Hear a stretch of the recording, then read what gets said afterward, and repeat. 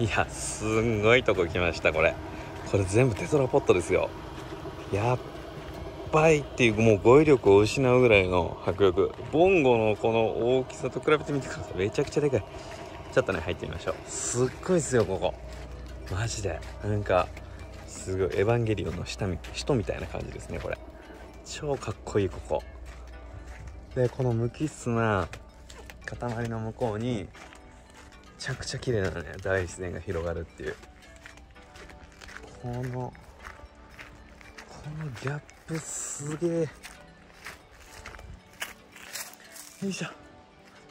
最高。ちょっとやって。みようほっほっほっうわうわうわうんこれやばくないですかこの青さうわすげえな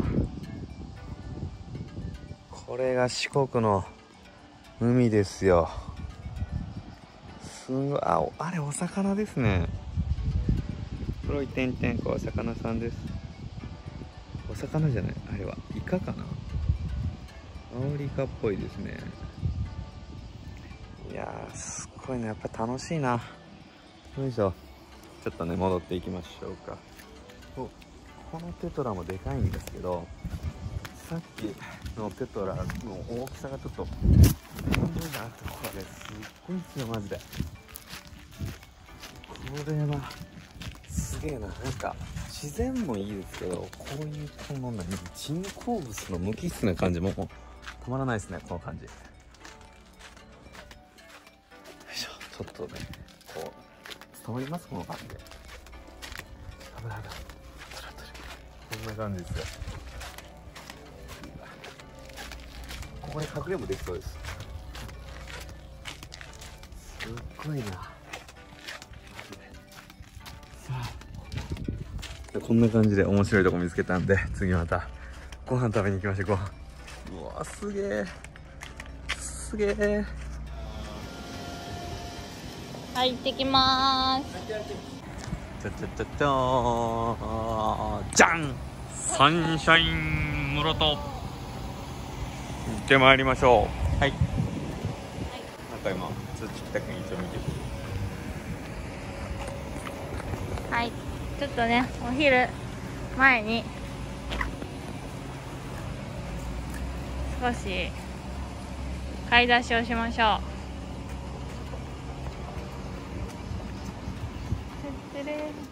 ねえこれ取ったんね。ハガツオ。ハガツオ？うんうん大きないひっくり返した目だって。あれじゃなかったの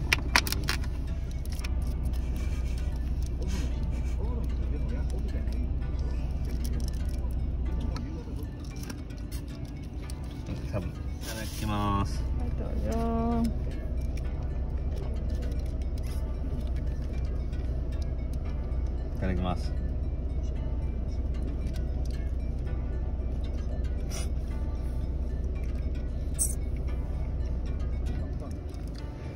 うん。うん。ハ食べる？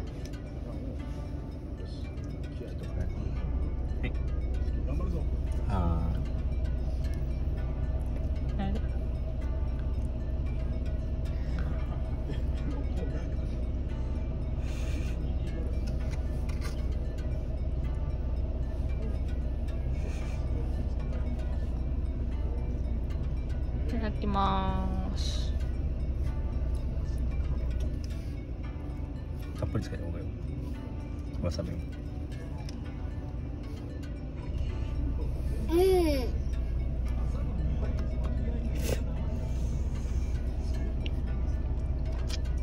うん。カツ。うん。カツはやっぱ独特のうん。なんか。匂いがするんだよね。うん。一気きとかにして藁の香りで匂いをスモークで消すんやけどはるくん食べた。無事ね。ああね島のうだつとかのうんちょっと派生版っていうか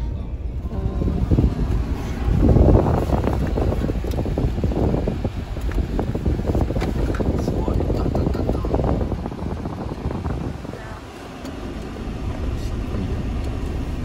これすっごいね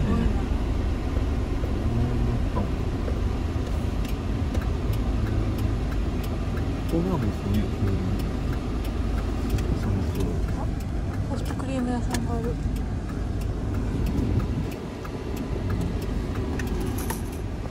どんどんどんどんなんやろファッション段が大きれば多いほどここはあれかな波なんかなああすごいさざ波をイメージしてるここは商店いやねすごい全然ね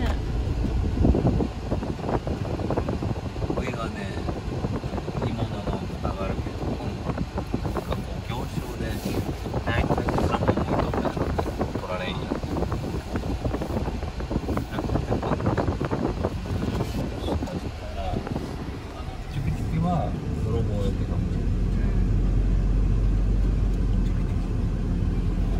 チュキチュキチュキでここの辺でしょ今日のえー地魚って書いてあるはいほんまなここや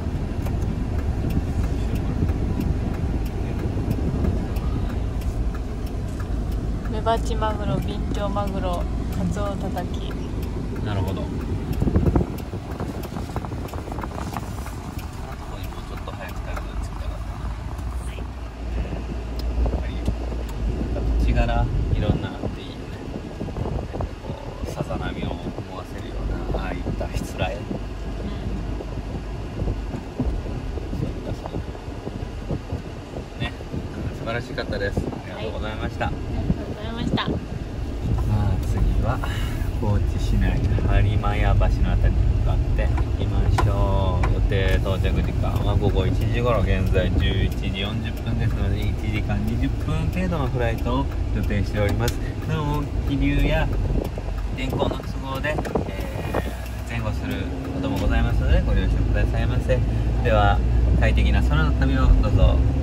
存分にお楽しみくださいませ。えー機長は山本アテンダントは山本添乗員は山本山本で、えーお送りさせていただきますそれでは失礼いたしますご視聴ありがとうすげえ何あの建物すげえすごいこい。これはもう早速通れんってことやんね。通れん通行時間制限通行か稼働時間を含みます、えー6時半から8時9時から10時11時から12時1時から2時半。で今度は下がるとこ見れるってこと？今何時？12時53分えほなもうちょっとで下がるやんねえ。ちょっと待っとってみようか。うん待っとっていけるかな？こっち行ってもあれ安野町周辺。えー、安野町って言って。これすごいね。そそり立っておる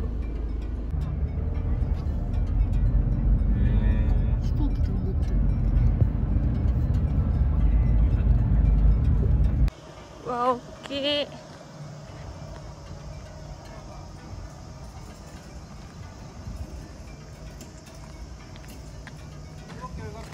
嘘。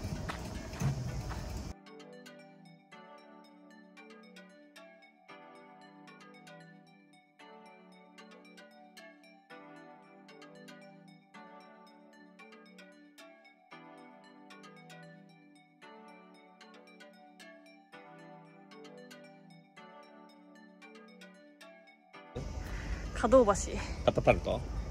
カタパルトってカタパルトってあのほら戦闘機が。あシュンって飛んでるやえー、すごいね。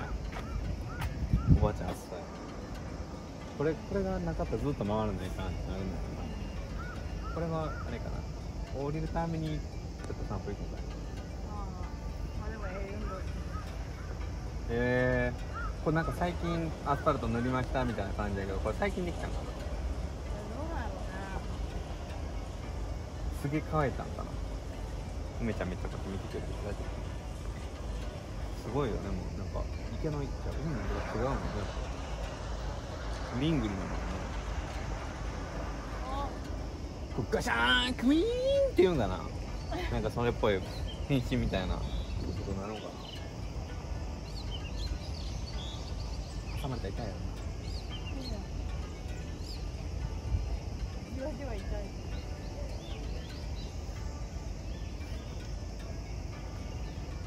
あすごいすごい。あ道になるね。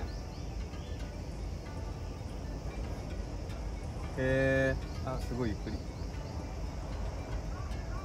最後すごいよ。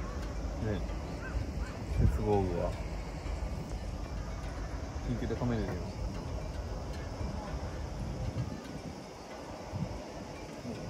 うもう動くのか動いてないか分からんうんうん今から動画見た人何に興奮したのか全然分かる。ゴールフェチかな。であれが上がるの？あでこれが上がるときにカンカンカンカンってなるんだよねへえで踏切が上がるんや。なるほど。すごいね。あここで本来こうやってあの記念撮影したらそそり立つ道路なんや。はい行くよ。あ海じゃなくるかもしれんけん行くよ早く。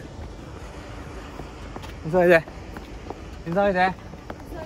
急いで。ソフトボール2つ入れたのみたいにな。急いで。急いで。急いで。急いで。る急いで。電車来るよ。電車じゃ。へえ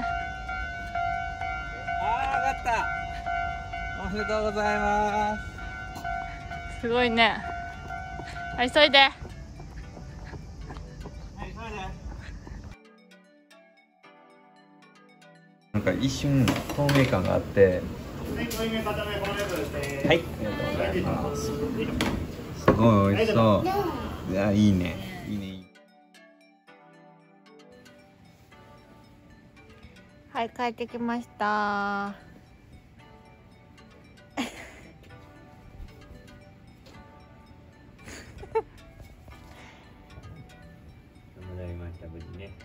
はい無事戻りました。パパはね少しあのお風呂上がりなのでね。あれですけど。はい。無事に帰ってこれました。ちょっとね明日からねやっぱり天気がちょっと崩れるみたいなので今日帰ってきてちょっと正解かなと思いつつ。夏は暑いのでまあしっかり土日はね、山本ってあまり好んで動かない。そうやね山本家土日あまり好きじゃないから平日やったら多分ちょっと雨でもまあ、愚か試して行ってみろかってなるけどね。うんまあまあ今回のうん旅でいろんな改善点だったりとか、こうしたらいいなっていうのがいろんなこう、ね、気づきがあってね、いい勉強になりましたね。そうやねこれからどんな感じにするかちょっとイメージが湧いてきました私も。はい。またねこれからあのどんな風になるか楽しみにして見ていただければなと思います。ね梅ちあなたはずっと元気今回の車中泊のえ課題点は、はい、何ですか暑さねえ、暑かったよね。暑いマジで暑い。暑いのはダメやね。あのなんていうのかな、キャンピングカーとか車中泊？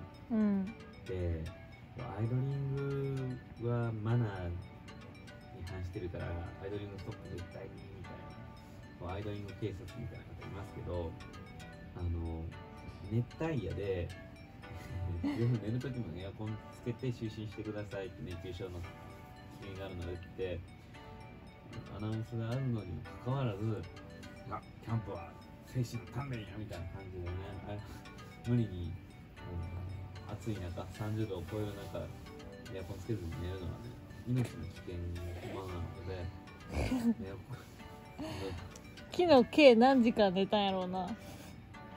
2時間も寝てないんじゃんそうやね。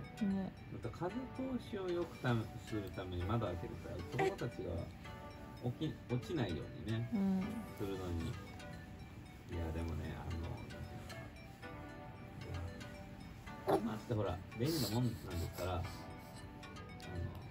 アイドリングしてエアコンかけて快適に、えー命の危険にさらされないように過ごすのもいいと思うんですけどね。そうやね。なんか風潮として車中泊は絶対にかけてエアコンかけるのはもうそんなのはキャンパーじゃないみたいな。エアコンつける意味ないよねほんなら。そうまあそうやねいやし死んじゃうよねだから本当暑いのでちょっと真夏の車中泊とかキャンプはもう10年前の常識が通用しないんで僕もちょっと正直びっくりしました。あの暑さはあんな暑いと思わんかった今。はい、そこが唯一一番の改善点ですね。もうあいみあの中であと2泊ぐらいはできんと思った。あのあのままね。エンジン切って寝るんはもう耐えれんと思った。あれは。ね、死にます。山本家生命の危あれは人人類、生物の危機やで、あの温度。ですジュースどうぞ。ねハルです機ジュジュあそこです。あち何？チュチュが欲しい？帰ってきて思い出した。トンやっぱりあの、アイドリング OK な RV パークとか作ってくうまいねれたらいいですよ。ガスを、突っ込んで、あの、だったら、もう一回動かすうしようんやあと何キロ走りました今日？100違う。コンコンしないではるくんで400 440ぐらい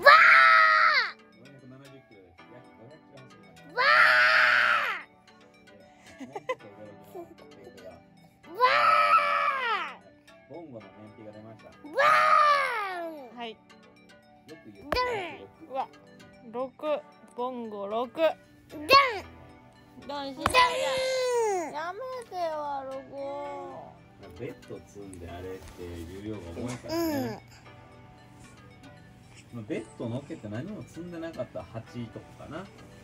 まうん、まあまあ普通のミニバンと一緒ぐらいやなって感じ。あいいんじゃないでしょうかまあね、宿泊代が浮くからね。今後もう少し改善をしてね、もっともっとあの快適に効率よく運用できるようにね、改造しましょう。はいオッケーじゃあこれからも山本ファミリーよろしくねうみちゃんとパパとはるくんと？は。い。